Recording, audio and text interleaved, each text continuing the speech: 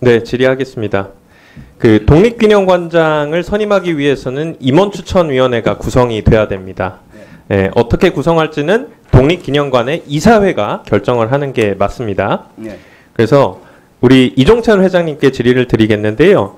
독립기념관 이사 자격으로 임추위 구성하는 회의에 참석을 하셨었죠. 네, 참석했습니다. 예, 임추위에 누굴 추천할지는 전적으로 이사회의 권한인데 이사회 당일에 미리 준비된 임추위원 후보 목록이 작성되어 있었습니다. PPT를 봐주시면 될 것 같고요. 거기에 보시면 이사회가 선임하는 위원 대상 11인이란 목록이 있습니다. 네, 위원들은 이사회에서 정하도록 되어 있는데 이사회가 열리기도 전에 후보 목록이 있었습니다. 그래서 이제 회의록을 보면은 우리 회장님께서도 이 부분에 대해서 이의 제기를 하십니다. 왜 목록이 만들어져 있느냐. 근데 제기를 했음에도 그 이 잘못됨을 그럼에도 불구하고 결과적으로는 미리 준비된 목록에서 임추위원이 정해진 게 사실입니까? 예, 사실입니다.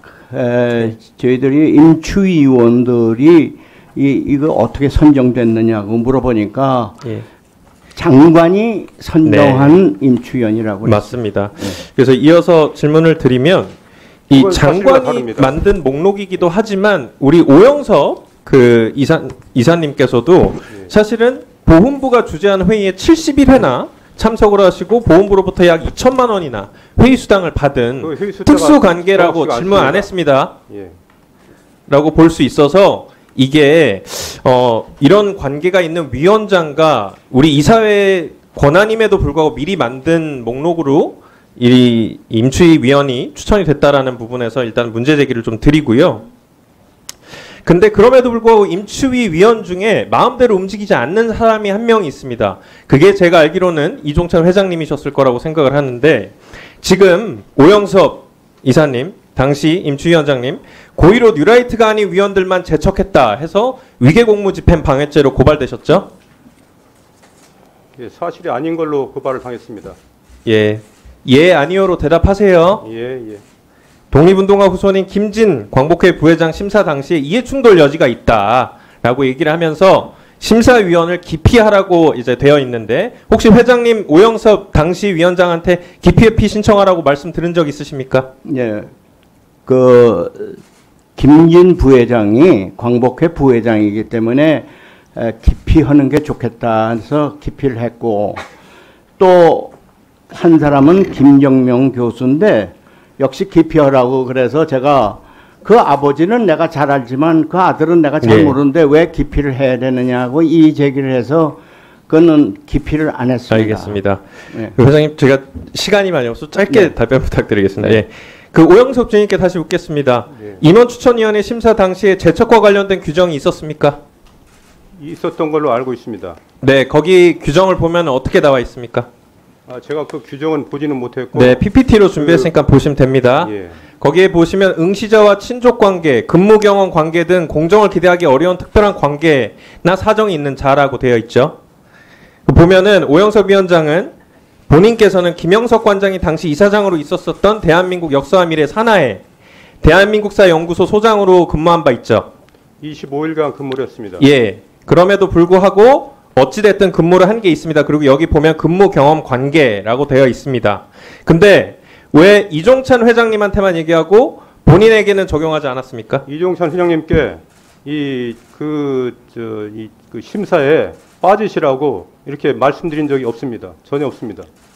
그거는 저 그렇게 허위로 증언하면 안 돼요. 아, 그 당시에 왜냐하면 그 자리에 내가 저만 있었던 게 아니고 그 관장님만 아니 저 회장님만 계셨던 게 아니고 네, 보이시죠? 그 지금부터 심사한 증인들도 심사위원들 누군가가 여러분, 독립기념관 직원 네, 알겠습니다. 있었습니다. 네, 같이 대답 그만하십시오. 예. 그리고 이종찬 회장님께 다시 묻겠습니다. 임원 추천위원 후보자들 평가하실 때 채점표 수기로 점수 체크하신 걸로 알고 있는데 맞으신가요? 예 점수를 써, 쓰, 썼어요. 예.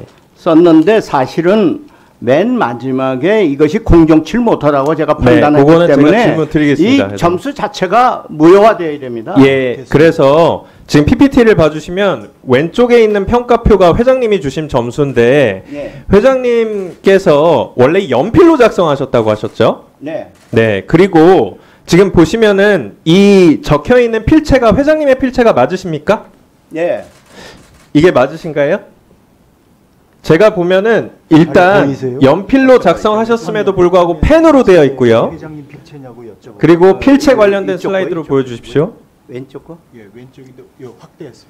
이종찬 위원님이 어, 평가하신 평가표에 있는 숫자와 과거에 이종찬 회장님이 쓰셨던 문서의 필체 자체가 다릅니다. 1도 그렇고 2도 그렇고 지금 그, 저쓴 방, 날짜 기, 기록한 다릅니다. 기억은 없습니다. 예 그리고 계속 이어 나가겠습니다. 에, 보시면은 연필뿐만이 아니고요. 다른 평가표들은 김영석 관장 대상 평가표들은 볼펜으로 덧쓴 흔적도 있어요. 네. 정말 엉망입니다. 낮은 점수에서 높은 점수로 바뀐 것도 있습니다. 지금 이런 이유 때문에 회장님께서 이 최종적인 점수표에 서명을 하기가 어렵다. 부정의 정황이 있기 때문에 서명하고 싶지 않다라고 얘기를 했음에도 이게 그냥 처리가 됐습니다. 이게 만약에 일반적인 상황에서 이렇게 됐다고 하면 만약에 신입사원을 뽑는 자리에서 그렇게 됐다면 이거 채용 비리라고도 분명히 얘기할 수 있을 수준에서 이런 의구심이 많습니다. 자, 넘어가겠습니다.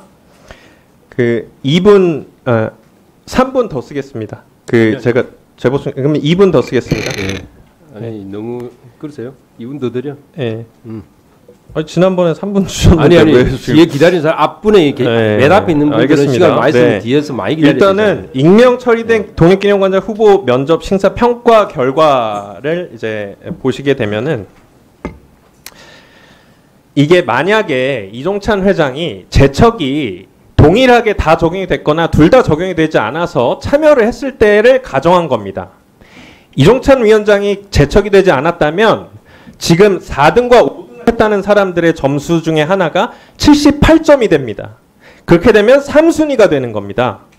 예, 제가 알기로는 지금 이 김영석 관장의 선임 과정에 대한 불만 때문에 이 임명은 잘못된 거다라고 이 효력 정지를 신청하고 무효 신청을 했는데 4등이고 5등이 신청을 했기 때문에 무효화된 게 있습니다. 그것 자체도 다시 검토가 돼야 된다는 말을 드리는 겁니다. 그러니까 사실상 독립기념 관장의 이 검토가 될 사람들이 바뀔 수 있었었다는 거고요. 이 절차에 보면은 김영석 관장 임명이 정말 문제가 많습니다. 아까도 말씀드린 것처럼 정부 측에서 미리 준비한 임치위원 명단을 종용해서 추천 권한도 침해했고요. 그리고 재척의 기준에 있어서도 누군 재척되고 누군 재척되지 않았고요. 이거 점수도 더 씌워져 있고 분명히 연필로 적었는데 펜으로 되어 있고 글씨체마저 다릅니다.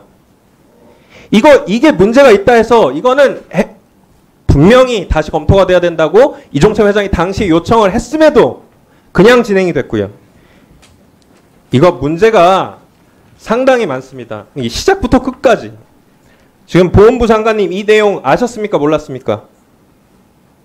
여기까지는 지금 처음 듣는 부분도 네. 있죠. 국정감사라는 곳에서 법적 효력을 발생할 수 있는 이 자리에서 얘기가 나온 거니까 분명히 감사원 감사를 통해서 이 내용이 정말 뭔지 이거 밝혀내야 될 것 같고요.